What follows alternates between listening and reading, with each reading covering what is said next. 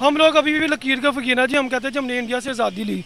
इसके साथ हमारा जो बांग्लादेश है, जो हमसे जुदा हुआ है, वो हमसे आगे निकल गया है। ठीक है? हम अभी भी उधर खड़े हैं। क्यों?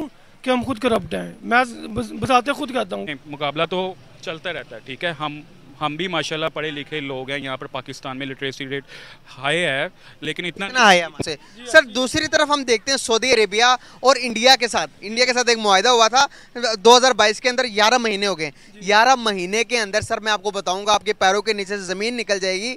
इंडिया ज़्यादा तेल इम्पोर्ट किया सऊदी अरेबिया से 45 बिलियन डॉलर्स का ट्रेड हुआ सिर्फ़ 11 महीने के अंदर। सर उसकी वजह ये है एक मिनट नहीं नहीं उसकी वजह एक है कि इंडिया जो है ना इंडिया में अगर वो एक यूनिवर्सिटी है ना इंजीनियरिंग की यूनिवर्सिटी है तो अगर उधर से तालीम पढ़ता है ना तो उसके साथ इंडस्ट्री भी लगाते हैं। ठीक है जी? इंडिया भी गया था आईएमएफ के पास 90s के टाइम के अंदर।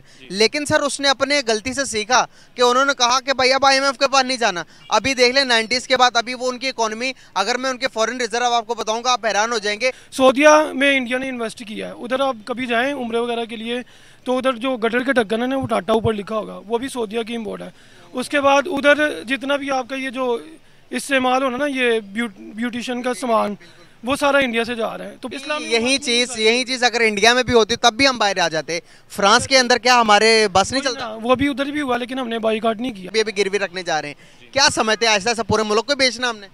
देखें एक तो ये सबसे बड़ी बुरी चीज़ है कि आप किसी से कर्जा लेने के लिए जा रहे हैं ठीक है? देखें आप किसी भी मुल्क को देख लें कि वो इतनी बड़ी बड़ी चीज़ें जो सी कभी भी गिरवी रखवा के किसी से कर्जा नहीं लेता। इतना है कि जब पाकिस्तान आज़ाद हुआ था ना तो उस टाइम कुछ उलमा ने इसकी मुखालफत की थी और कुछ ने हमायत की थी। पाकिस्तान की किसी एक मोहल्ले में भी इस्लामी निज़ाम कायम हो जाए ना तो मैं अपनी दारी से उस गली की सफ़ाई करूँगा, ठीक है जी? उन्होंने ये पेशगोइन की थी कि ये नाम होगा, नारा होगा, लेकिन निज़ाम, इस्लामी पाकिस्तान जो है, इधर आप देख लें कि हर बंदा जो अमीर है, वो अमीर से अमीर है, जो गरीब है, वो गरीब से गरीब है, ठीक है? फिर हमारा इधर निज़ाम नहीं है। जो निज़ाम होना चाहिए ना, कि गरीब और अमीर बराबरी के हों, वो नहीं है। आप जितना मर्ज़ी लोन ले लें, जितने मर्ज़ी ममालिक से कर्जा ले लें, जब तक हमारा सिस्टम ठीक नहीं ना होगा, तब तक ये महँगाई ख़त्म नहीं होगी और ये गुर्बत, कर्ज़े ख़त्म नहीं होंगे हमारे ना। हमारे अपने जो अमीर से अमीर लोग हैं, उनके पैसे बाहर हैं। ठीक है? वो बाहर भेजी जा रहे हैं। लेकिन पिस कौन रहा है? मैं पिस रहा हूँ, आप पिस रहे हैं। ये भाई साहब पिस रहे हैं। ठीक है? महँगाई जो बजट पास होता है, आवाम कहती है जी बजट पास हो गया, ठीक है? उसमें सारा बजट गरीब के लिए होता है अमीर के लिए कुछ भी नहीं होता। अमीर ने जो मिनिस्टर है या M P M N S जो भी है उन्होंने उनके वो सारा सिस्टम चल रहा है जिस तरह वो अपना चला रहे हैं उनको पैसे भी आ रहे हैं सब कुछ आ रहा है हमारे जितने भी इदारे हैं। लेकिन हम जैसे आप जैसे लोग जो है ना वो हम ए, थोड़ा सा रिलीफ मिल जाए तो हम बड़ा खुश होते हैं जी हुकूमत ने इतना रिलीफ दे दिया। लेकिन उसके बरक्स उतना ही जो है ना वो महँगाई का कोई ना कोई बिल पास हो जाता है जिसके ऊपर हम करते हैं। तो ये एक थोड़ी सी सूरत है सर अ, हम खुश हुए तीन बिलियन डॉलर्स लेकर वो भी भीग के मिले हमें हमें कर्जे का मिला कर्जा हमने वापस करना हमारे खून पसीना हमारे बच्चे भी अदा करेंगे उसे। सर दूसरी तरफ़ हम देखते हैं सऊदी अरेबिया और इंडिया के साथ। इंडिया के साथ एक मुआदा हुआ था 2022 के अंदर 11 महीने हो गए। 11 महीने के अंदर सर मैं आपको बताऊँगा आपके पैरों के नीचे से ज़मीन निकल जाएगी। इंडिया जो है वो सऊदी अरेबिया का सबसे दूसरा बड़ा ट्रेडर है। एक्सपोर्टर है। इंडिया ने सबसे ज़्यादा तेल इंपोर्ट किया सऊदी अरेबिया से। 45 बिलियन डॉलर्स का ट्रेड हुआ सिर्फ़ 11 महीने के अंदर। आप बताएँ हम जा रहे हैं सऊदिया के पास भीख मांगने के लिए पैसे उधार मांगने के लिए वहाँ पर इंडिया ट्रेड कर रहा है। भाई लेन रो मेरे साथ काम करना आपने तो सौदा करो मेरे साथ ये काम हो रहा है। क्या वजूहत है कि अभी सऊदिया भी हमारा इज़्ज़त नहीं करता दूसरी तरफ़ आप देखो दुबई भी में हमारी इज़्ज़त नहीं है। हमने अपनी इज़्ज़त क्यों खोई है? सर उसकी वजह ये है एक मिनट नहीं नहीं उसकी वजह एक है कि इंडिया जो है ना इंडिया में अगर वो एक यूनिवर्सिटी है ना इंजीनियरिंग की यूनिवर्सिटी है तो अगर उधर से तालीम इल्म पढ़ता ना तो उसके साथ इंडस्ट्री भी लगाते हैं। ठीक है जी? कि वो जो हमारा जो बच्चा है ना, वो जब पढ़ लिख जाए ना तो उसको नौकरी मिले। बजाय इसके कि वो बाहर के धक्के खाएँ। सुजुकी आप देख लें, वो बाकायदा गाड़ियाँ उधर बनती हैं, जो बाहर की मारूटी वगैरह, वो ना, पाकिस्तान में क्या है, बाहर से एक चली चलाई गाड़ी आती है इम्पोर्ट करते हैं हम, कराची से बड़े बड़े मगर में बैठे होते हैं वो जिसका जहाँ दाल लगता है उतने रेट दे के वो हम खरीदते हैं जी हमने बाहर से गाड़ी मंगवाई। तो इकतीस लाख की। कट कर रहा हूँ सॉरी पाकिस्तान में इकतीस की इंडिया में चार लाख रुपए। जी उसकी वजह यही है ना देखें जितने भी नौजवान पाकिस्तान में है वो क्यों बाहर जा रहे हैं? इसलिए जा रहा है कि इधर काम ही नहीं है। इंडस्ट्री नहीं है हमारे इधर ना। हम सोचते नहीं है। आईफोन आप देख लें बाहर से आता है हम लोग मंगवाते हैं फिर पीटीए से अप्रूव करवाना पड़ता है सब कुछ करना पड़ता है। इंडिया ने उधर अपना ऑफ़िस खोल लिया इंडिया के अंदर कि हम बाहर से नहीं मंगवाएँगे हम इंडिया के अंदर से ही लेंगे। खुद बनाएँगे और खुद एक्सपोर्ट करेंगे, वो सस्ता भी पड़ेगा। हम लोग अभी भी लकीर का फ़कीर जी, हम कहते हैं, जब हमने इंडिया से आज़ादी ली, इसके साथ हमारा जो बांग्लादेश है, जो हमसे जुदा हुआ है, वो हमसे आगे निकल गया है। ठीक है? हम अभी भी उधर खड़े हैं। क्यों? कि हम खुद करप्ट हैं। मैं बताते खुद कहता हूँ कि मैं खुद करप्ट हूँ, आप खुद करप्ट हैं। जब हम खुद ठीक नहीं होंगे तो हम जो है ना, ये भीख ही मांगते रहेंगे। सऊदिया में इंडिया ने इन्वेस्ट किया है। उधर आप कभी जाएँ उम्र वगैरह के लिए तो उधर जो गटर के ढक्कन है ना, वो टाटा ऊपर लिखा होगा। वो भी सऊदिया की इम्पोर्ट है। उसके बाद उधर जितना भी आपका ये जो इस्तेमाल होना ना, ये ब्यूटिशन का सामान, वो सारा इंडिया से जा रहा है। तो पाकिस्तान से किया जा रहा है। इधर जो गंदम थी, वो हम बाहर से इम्पोर्ट कर रहे हैं। ठीक है बड़े बड़े ज़ख़ाइर हमारे भरे हुए हैं। ठीक है, हम उसको जो है इस्तेमाल नहीं कर रहे। वो बड़े बड़े जो हमारे मखरज में इधर बैठे हैं, वो उन्होंने साइड पे रख लिया रेट। जब बढ़ाएँगे तो फिर कभी गरीब आवाम को मजबूरी है वो बेचेंगे। ठीक है ना मजबूरा मैं बाहर से मंगवाने गैस हमारे गैस हमारे अपने मुल्क का है। बलोचिस्तान के अंदर जितने ज़खायर हैं किसी मुल्क में इतने नहीं होंगे, लेकिन हम उस उस मुल्क, उस ज़िले, सूबे के हमने ज़्यादा की है कि उधर तेल उधर से निकल सकता है, लेकिन हम नहीं कर रहे हमने इतने गलत गलत मुआदे किए हुए हैं, बाहर के ममालिक के साथ कि हम वो नहीं कर सकते। यहाँ पर पाकिस्तान के लोग, जब इनको पता चलता है कि सऊदी अरेबिया, यूएई जैसे कंट्रीज़ उसके बाद दुबई जैसी कंट्रीज़ का पाकिस्तान की तरफ़ रुझान कम और इंडिया की तरफ़ ज़्यादा होता है। जब इनको मैं इस तरह की खबरें, जब वो इंटरनेशनल मीडिया पर भी पाकिस्तानी देखते हैं तो वो गुस्सा होने लग पड़ते हैं, आग बगोला हो जाते हैं। वो कहते हैं कि मुसलमान को मुसलमान के साथ लेन देन करना चाहिए, वो इंडिया के साथ क्यों कर रहे हैं, इस चीज़ का आप जवाब कैसे देंगे? उसमें इस तरह है देखें मुसलमान तो हैं सारे, ठीक है ना? फिर आप अगर सिर्फ़ मुसलमान के ऊपर चलते हैं, आप डॉलर का बाईकाट कर दें, फिर अपनी इस्लामी करेंसी चलाएँ, ठीक है जी? इस तरह नहीं चलेगा। इस तरह अगर चलना होता तो तुर्की ने शुरू किया था काम, कि डॉलर का बाईकाट किया था, लेकिन हमारे अपने मुस्लिम ममालिक ने उसका बाईकाट कर दिया था। तो अगर इस बेस पे आएँगे तो आप नहीं कर सकते, ठीक है ना? उसका, देखें अगर सऊदी अरब है या दुबई है, दुबई में आपने कभी सोचा था कि मंदिर बनेगा? लेकिन बन रहा है। क्यों बन रहा? है पैसे के पीछे है वो। इन्वेस्ट हो रहा है। उधर इंडिया इन्वेस्ट कर रहा है। अफ़गानिस्तान में अभी आप देखेंगे, जब मुजाहिदीन के पहले हुकूमत थी तो उधर इंडिया ने बहुत ज़्यादा इन्वेस्ट किया हुआ था हामिद करजई के दौर में। और उनकी सबसे ज़्यादा उनको बैड लग ये हुई कि अब दूसरी हुकूमत आ गई तो हमारे पैसे डूब जाएँगे। ठीक है जी? तो ये सारी बात है। इस्लामी ममालिक में भी आप पाकिस्तान में देख लें, अगर बाहर के ममालिक वाले इन्वेस्ट करते हैं तो या उसको हम ये कहेंगे जी ये- तो इस्लामी मुल्क है इधर क्यों किया है? तो ये सिर्फ़ देखें किसी भी मुल्क ने अपनी मीशत चलानी है ना तो वो ये नहीं देखेगा कि इस्लामी ममालिक है या गैर इस्लामी है। उसने ये देखना कि हमारे मुल्क में पैसे कहाँ से आ रहे हैं और मुल्क कहाँ से चल रहा है। और जी जी आखिरी इसका लबुलबाब ये है कि जब तक हम खुद और हमारे हुक्मरान ठीक नहीं हो जाएँगे ना अवाम के बारे में नहीं सोचेंगे। अवाम के बारे में जितनी मर्ज़ी हुकूमतें आ जाएँ वो अभी ये ताज़ा ताज़ा पी टी आई की हुकूमत गई है। बड़े नारे लगाए थे कि हम जो है ना इस्लामी निज़ाम लेकर आएँगे, नारा लगाया था इस तरह का ना। तो वो सारा उसके बरक्स था, उसके मुखालिफ था। जितनी चोरी डकैती उन्होंने कर्जा लिया, किसी ने भी नहीं लिया। तो गुजारिश यही है कि जब तक ऐसा हुक्मरान जो अवाम के बारे में सोचे, हम जो है ना डरते हैं, कुफार से डरते हैं माजरत के साथ। वो क्यों डरते हैं कि अगर अभी हम किसी ये अभी स्वीडन में जो है उन उन्होंने कुरान की बेहरमती की अभी तक किसी लीडर ने हकूमती लेवल पे कोई आवाज़ नहीं उठाई। यहाँ पर भी कोई एहतजाज के लिए बाहर आया? कोई बाहर नहीं आया ठीक है? और यही पिछले दिनों ये नौ मई का जो वाक्य हुआ था सारे लोग बाहर आ गए थे। ठीक है ना इमरान खान जो है उसको अंदर किया था। तो कुरान के ऊपर कोई बाहर नहीं आ रहा। इस्लाम यही चीज़ यही चीज़ अगर इंडिया में भी होती तब भी हम बाहर आ जाते। फ्रांस के अंदर क्या हमारे बस नहीं चलता? वो भी उधर भी हुआ लेकिन हमने बाईकाट नहीं किया ठीक है ना? तो मतलब ये है कि इस्लाम को आप फ़िलहाल इस्लामी ममालिक का बात ना करें आप ना। वो सूरत में होगी जब इस इधर निज़ाम भी इस्लामी होगा। जब इस्लामी निज़ाम ही नहीं है वो बड़ा नाम एक नारा होगा तो अंदर से सारे वही गैर सेकुलर होगा सिस्टम तो वो फिर वो इस्लामी निज़ाम नहीं होगा।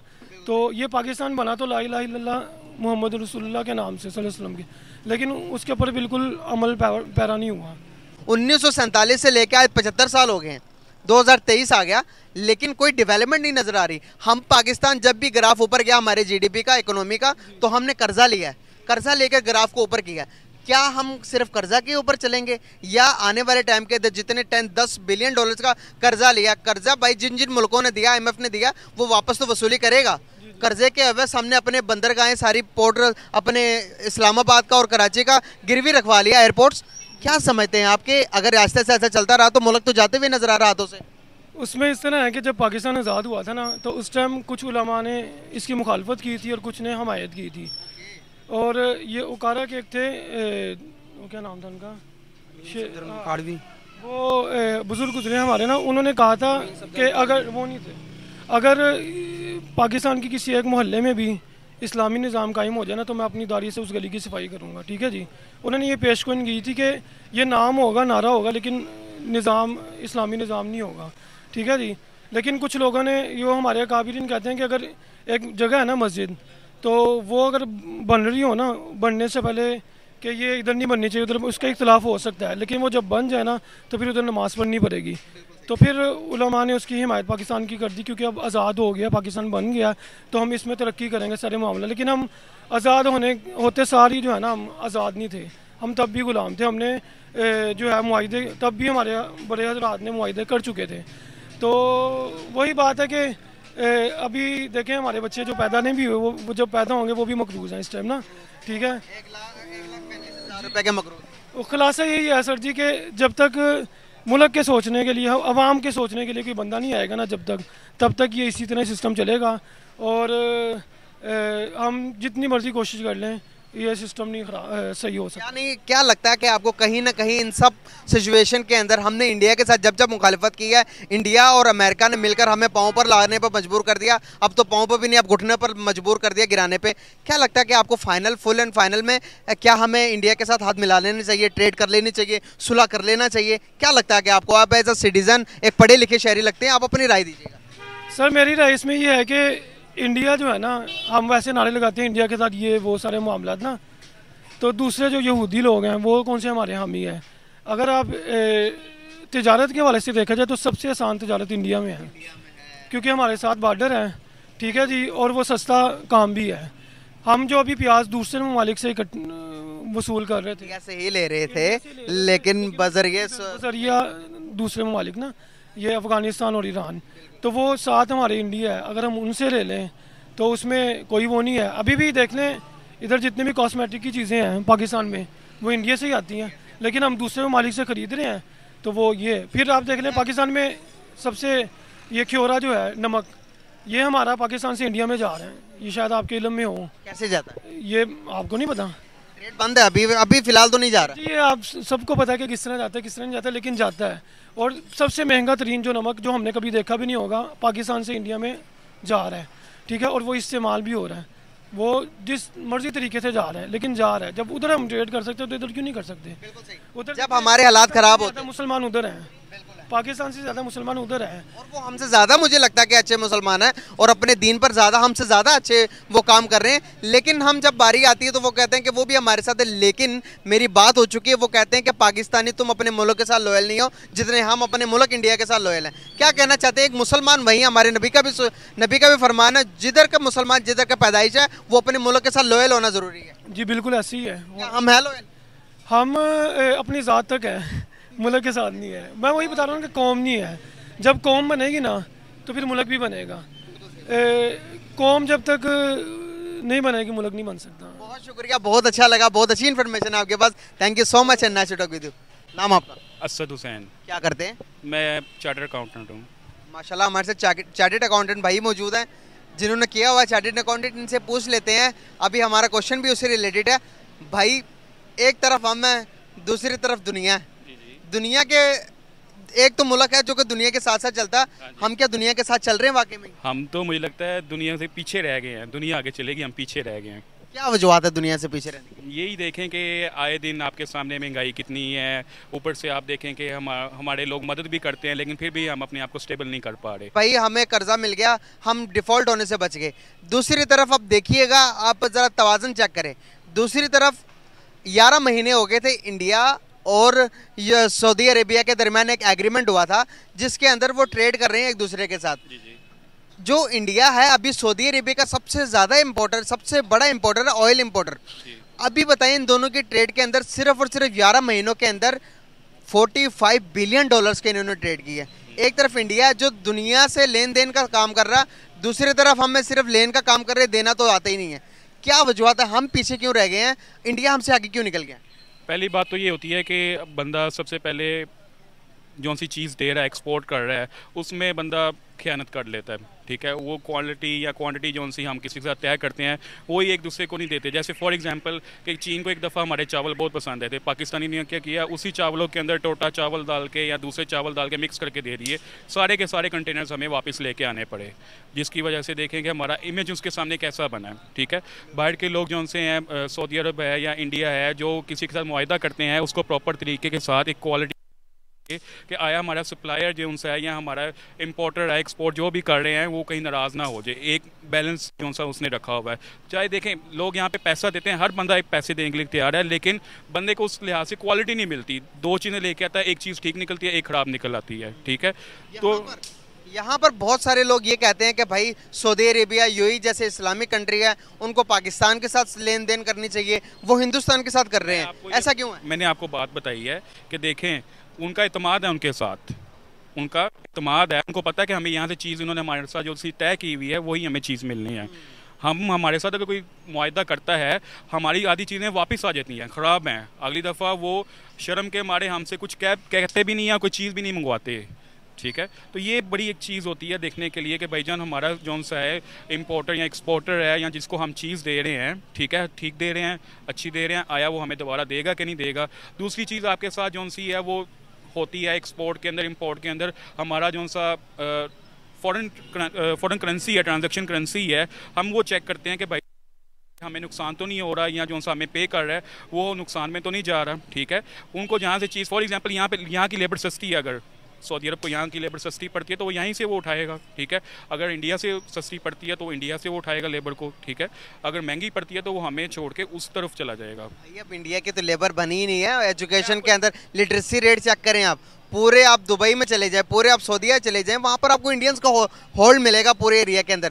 सर, मैं सवाल यहाँ पर ये पूछना चाह रहा हूँ, हमारे बहुत से अवाम को नहीं पता कि अभी हम किस तरफ़ जा रहे हैं। जितना जितना कर्जा ले रहे हैं, इसके बरक्स, अगर आज पाकिस्तान, अल्लाह ना करे डिफ़ॉल्ट होता, पाकिस्तान कहता कि हमारे पास पैसे नहीं है। ये दस टेन बिलियन कीमत तो पूरी करनी है भाई, उन्होंने पैसे दिए आईएमएफ ने आपसे पैसे दिए आपको तो भाई वो पैसे तो वापस करने ही पड़ेंगे। पैसे वापस नहीं होंगे तो अभी ऑलरेडी हमने अपनी बंदर गाए अपने एक बंदरगाह को हमने लीज पर रखा गया और कराची और इस्लामाबाद के एयरपोर्ट को भी अभी गिरवी रखने जा रहे हैं। क्या समझते हैं ऐसा ऐसा पूरे मुल्क को बेचना हमने? देखें एक तो ये सबसे बड़ी बुरी चीज़ है कि आप किसी से कर्जा लेने के लिए जा रहे हैं ठीक है? देखें आप किसी भी मुल्क को देख लें कि वो इतनी बड़ी बड़ी चीज़ें जो कभी भी गिरवी रखवा के किसी से कर्जा नहीं लेता। और कर्जा लेके हम खुश हो रहे हैं। हम अलहमदुल्ला कह रहे हैं। नहीं नहीं बहुत बुरी चीज़ है। ये कर्जा एक समझ लें कि मेरी तरफ़ से कि एक लानत होती है। ठीक है? लेने की बजाय आप खुश हो रहे हैं। क्यों खुश हो रहे हैं भाईजान? आपने उतारना है। अभी इनको लग पता जाएगा जब इनकी बिजली के रेट जो से, अभी मैंने पढ़ा था कि कल शायद न्यूज़ में पढ़ा था 1.25 जो सा पर यूनिट महँगी हो गई। आया जो हमारा पेट्रोल लाना था, वो भी अभी तक नहीं आया, कुछ आया। उसकी कीमतें भी डीजल की देख लें कि वो कम होने की बजाय बढ़ गई हैं। ठीक हो गया? ने हमें खरीद लिया खरीद लिया हुआ सीधी सी बात आई एफ़ ने खरीद लिया। वो जो कहता है कि हमें दे दो हम देने के लिए तैयार हैं। हमें हम मुकाबला कर सकते हैं इन सिचुएशन के अंदर? इंडिया का अगर मुकाबला करने पे आ जाए क्या लगता है कि आपको क्या हम आईटी के सेक्टर के अंदर एजुकेशन के अंदर क्या हम मुकाबला कर सकते हैं? देखें मुकाबला तो चलता रहता है ठीक है? हम हम भी माशाल्लाह पढ़े लिखे लोग हैं। यहाँ पर पाकिस्तान में लिटरेसी रेट हाई है लेकिन इतना हाई है इतना अब मुझे परफेक्ट न्यूज़ का आइडिया कि इंडिया का कितना है और अपना पाकिस्तान के नस्बत हमारे आटे के अंदर नमक भी नहीं है। देख लें फिर वो तरक्की कर गया ना। यहाँ पे आपको रिसोर्सेज नहीं प्रॉपर तरीके पे दिए जा रहे। अगर आप पूछ रहे हैं कि हम कैसे तरक्की करेंगे ठीक है तो सबसे बड़ी बात यह है कि अपने नौजवान जो उनसे हैं अगर उनको यहीं पे कोई अच्छी जॉब वगैरह मिल जाती है अच्छे पैसे वगैरह मिल जाते हैं तो उनको बाहर जाने की ज़रूरत ही ना पड़े किसी को। यूनान का हादसा देखिए। देख लें आप कितने बंदे जो उनसे हैं वो आ, मर गए। वो सिर्फ़ सिर्फ़ पैसों की खातिर अपनी घर बार बेच के गए और अपनी जान भी गवा बैठे ठीक है। अगर यहीं पे अगर आप आ, अपने आप को ठीक कर लेते हैं ठीक है हर चीज़ आपकी ठीक हो जाएगी। आप यहीं पे जॉब्स वगैरह निकलती रहती हैं। आप थोड़े से मार्केट से ज़्यादा पैसे दें। हर स्टूडेंट की कोशिश होगी कि मैं ये ये ये फ़ील्ड चूज़ कर, ये फ़ील्ड चूज़ करके मैं आपकी तरफ़ आता हूँ। मैं ये फ़ील्ड चूज़ करता हूँ। हमारा मुल्क किसी से पीछे नहीं रह सकता। लेकिन हम जब तक खुद ईमानदार नहीं होंगे, जब तक खुद अपनी, अपना किसी चीज़ में ख्यानत नहीं छोड़ेंगे, हम पीछे रह जाएँगे। अगर मैं यहाँ पर आपको बात बताऊँ इंडिया भी गया था आईएमएफ के पास 90s के टाइम के अंदर। लेकिन सर उसने अपने गलती से सीखा कि उन्होंने कहा कि भाई अब आईएमएफ के पास नहीं जाना। अभी देख लें 90s के बाद अभी वो उनकी इकोनॉमी अगर मैं उनके फ़ॉरन रिज़र्व आपको बताऊँगा आप हैरान हो जाएँगे 700 बिलियन डॉलर के उनके फॉरन रिज़र्व हैं। हमारे बताए रिज़र्व कहाँ पे हैं? हमारे हमने पाकिस्तान को अलहदा क्यों किया था इंडिया से? कि इसलिए किया था कि हम तरक्की की तरफ़ जा सकें डेवलपमेंट की तरफ़ जा सकें। क्या हम तरक्की की तरफ़ गए? क्या हम डेवलपमेंट की तरफ़ चले गए? नहीं नहीं गए हम। क्यों नहीं गए? उसकी वजह यही है कि हम ठीक नहीं है।